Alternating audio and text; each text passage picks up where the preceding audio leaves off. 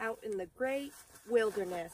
So, hi guys, I'm Hana. This is Maple. This is Gumbo, and back there is Aslan. And we have been requested to make um, kind of like a camping packing video. So I am actually out right now camping. Um, I don't have anything set up yet. I kind of took all my stuff from my car. So now I'm going to kind of go through and show you guys what I pack when I am one person with three dogs, um, going on a trip by myself. And this is like the basic, like one night trip. Um, it could be for a weekend. It's just, I only I only packed enough food to be here one, one, two days and one night. So this is essentially, you could use all this for a weekend.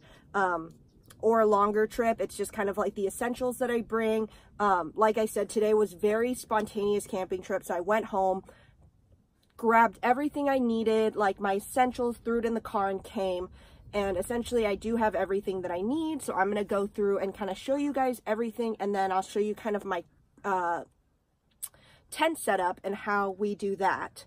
So you guys can see. All right, starting here, I have the Chaos 2 backpacking tent from Alps Mountaineer. I would not say that this is like a very light backpacking tent, but it does make a very good one person plus two dogs or two people plus a couple dogs. Um, I could sleep in this with another human and my three dogs perfectly fine, but I like to have some extra space, especially when I'm not backpacking. Um, and then I have the floor saver for that because when you live in the Pacific Northwest and it rains like every other day, you never know when the ground's going to be wet. Um, I usually bring a variety of blankets for myself and the dogs. So I have a Rumpl, which is really nice because it doesn't get dog hair on it. And it kind of, you can just shake off all the dirt and the uh, dog hair. And then I have this blanket, which is from Pendleton, but it isn't a wool blanket. It's just a cotton blanket with a pretty design so I can wash it. I generally bring along a hammock and hammocking straps. I'm not going to be using these for this trip because I realize there's not a lot of trees around here. Um, but I do like to have those. If you have two cars, you can swing them between the cars as well. I, I really love to hammock. Um, I have my sleeping bag here. It's also from Alps. Um, this sleeping bag is a 20 degree bag, so you're essentially rated to be comfortable down to 20 degrees, which it doesn't get here in Oregon, but good to have really useful when I was in Canada and it started snowing. I bring two types, two different air pads, um, and I'll show you these when I set up, set up. Um, I sleep on one and I generally have one next to me because the dogs like to sleep on them or when I roll over because the dogs are like stealing my space. I have that over there. This um, tiny chair, it's a really, really light backpacking chair that you can clip onto like your backpack. Um, I'll show it later, but I got it on Amazon. It came in a two pack and it's really easy to set up and then take down. Um, so you don't need to bring bulky camp chairs with you. I just, it came in a pack of two, but I just brought one because I'm by myself. Um, I usually bring a towel for me or the dogs. You never know with the rain or whatever. Um, and then I bring a headlamp for at night so I don't have to carry around a lantern. I bring a tent light and then I bring these lights that are perfect for putting on the dog's collars or harnesses and then being able to see them at night. Um, so I usually bring two because I don't really put them on Gumbo or Aslan because they stay close, but Maple I like to be able to see. And as far as a camping person I am, I have to have a pillow with me, preferably a memory foam pillow because I am a princess and my neck does hurt. So I do bring a full-size pillow with me usually. Um, moving on to the dog stuff. So I don't normally bring a full-size dog bed with me. This bed was actually already in my car, so I just brought it out and they so they could lay on it.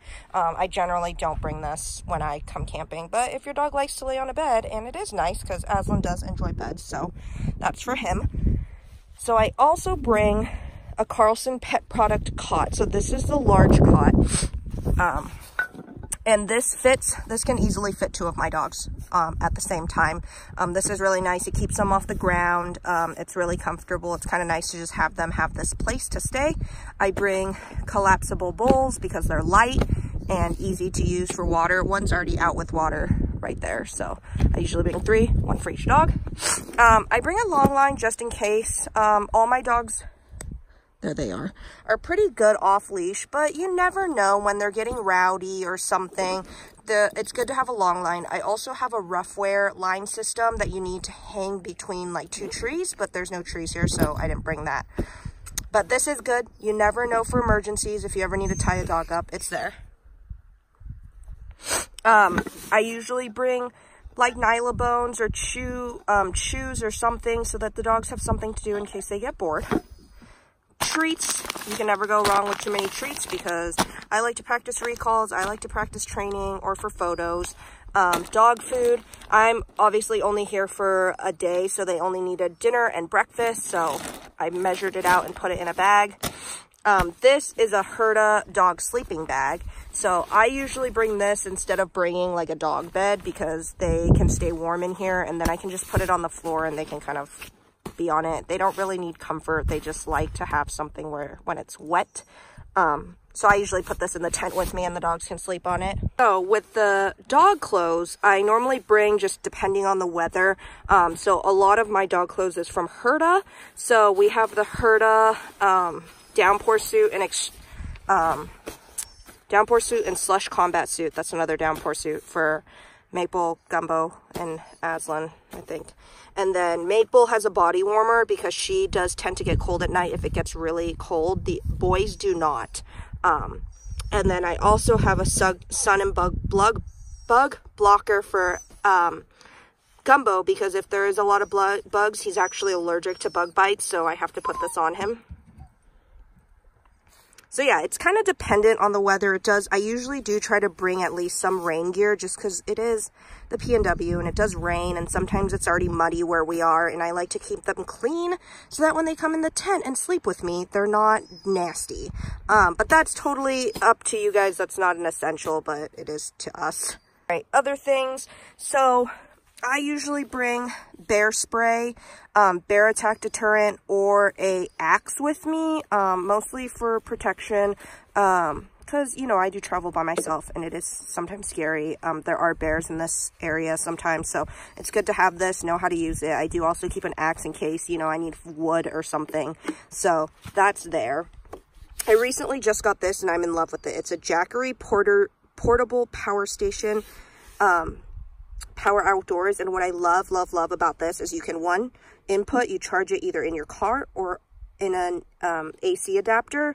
And then it has two USB ports to charge like your phone or your iPad or whatever. And it also has a freaking AV AC port for um, like your laptop. And that was my number one thing was I didn't have anything to charge my laptop or my camera battery and it also has a cigarette lighter. So this is great because now I can bring my laptop and I can work and edit on the road, which is a lifesaver. So this is um, something I just recently got and have been trying it out and I love it. Um, another thing that is one of the most essential things, especially, especially when you're traveling by yourself and you're out where you don't have service, is a portable car battery jump. So this is a power bank. You can also use this to charge your phone or cigarette lighter, but you also charge it up. And I think it has enough for one car battery jump. And it comes with jumper cables. I got this at Costco for like 80 bucks. And it's just good to have because even if I have AAA, but you know, when you're camping, sometimes you don't have service or sometimes you're out in the middle of nowhere and it's just good to always have that juice. Um, also, I didn't have this before, so this is what I use to like charge my phone and things like that. So this is very, very key. Bag of um, my clothes and my toiletries. And then this is all my medication and allergy medication um, electronics, my laptop, my iPad, um, all those things are usually in there, my camera. And let's go over food stuff. So I always bring one or two jugs, gallon jugs of water, um, filled up for the dogs and for me. Hi, Gumbo. Hi, buddy. Um, oh gosh, it looks like it's gonna rain. Um, I usually bring two water bottles just full of ice water for me when I'm hiking. Um, garbage bag, always pack out things. Um, I usually bring a scented garbage can and then I try to put everything in it and then take it out when I leave. I have these GSI bowls. They're just collapsible human bowls or people bowls. And I really love these bowls because they have measuring. So they have mils and ounces because when you'll see some of the food um, will need a certain amount of water and I don't want to carry a measuring cup. And so this is really nice. Um, snacks. My breakfast is some oatmeal and then some dinner. I have Mountain House. Mountain House is my favorite one. I've tried so many of these freeze-dried ones. Mountain House is the best. Um, and they sell big packs of these at Costco for relatively cheaper than you buy just one each at REI um, in the summer. So stock up. I do that. And then um, the stove system is a backpacking stove. And I also did not bring um, my gas for this, so it's kind of useless for this trip. Sorry. But let me show you guys it. Oops. Come on. Hold on. Pan and then a pot. And usually I put my gas inside here, but my gas ran out, and so I didn't change it out, and now I'm gasless for the night, um, which is okay, but because I have other food. But this is a flint starter in here, and this part screws into the gas, and you light it. Um, there's like a little lighter. Aslan, don't put your face on there. There's a little lighter, and you let the gas in, and it'll flick this and light and then you put your pot on top of it and you boil some water. Really really quick simple way to get some hot water for coffee for oatmeal for freeze-dried meals. Um, it's obviously you could cook like soup in here i have um, and cook like i guess like eggs but you're gonna get a pretty uneven burn. Um, it's not like a propane grill at all which i also do have but those are for like longer trips. So yeah that's about all i bring when i go camping by myself and we can set it up now.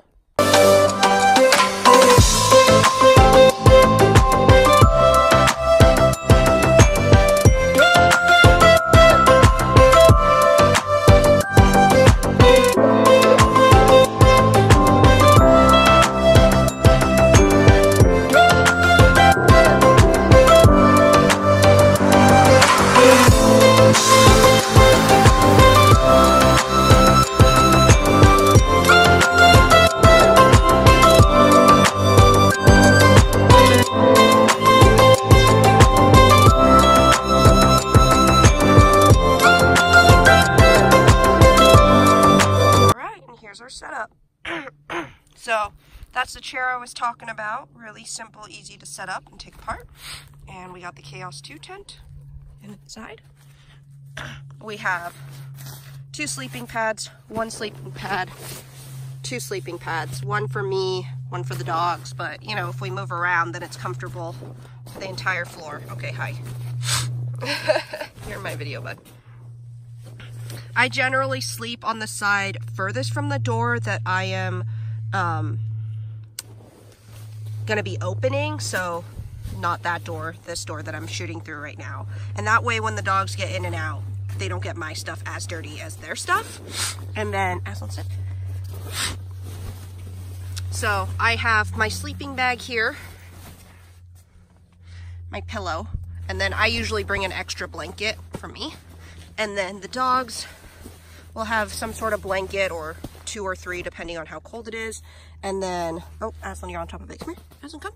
Get up. Stand. Aslan, stand. Get up. Get over there. Ugh. And then this is the Hurtta sleeping bag that the two big boys do fit in here, but Maple likes it a lot more and she tends to get a little bit more cold than the boys. So yeah. Are vitally essential and by that I mean I never even leave the car without these. Um, they're in my car is why I forgot about them, is bug spray. Um, you guys probably know the people that are avid outdoor hikers or stuff in the summer, bugs can get really nasty.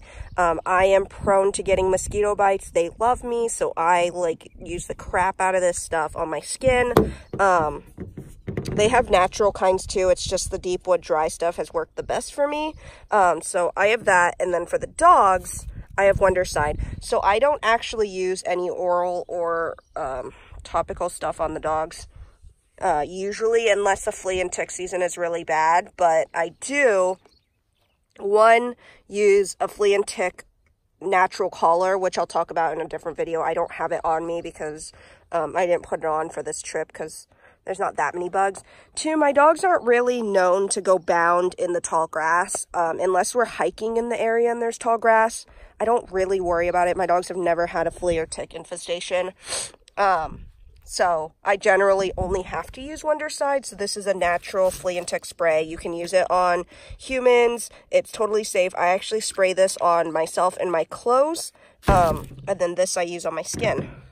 But yeah, I generally spray the crap out of my dogs, like their back, their underside, their chest, behind their tail, or like their tail and their butt, behind their ears. And I'll actually put some on my hand, rub it, and kind of rub it on their muzzle, not like anywhere in their like um, oral or um, eye cavities or anything like that. But Gumbo is allergic to mosquito bites. He will flare up and get an allergic reaction, so I have to actually be really careful with him. And we actually had an ER visit last year where I didn't put anything on his face and he got bit on the face and it swelled up. So, yeah, that's what I use for flea and tick protection. And yeah, if you guys have any questions about gear I use um, or anything like that, let me know. I think I want to make a backpacking video as well when I start this backpacking season in the summer. And yeah, thanks guys for watching.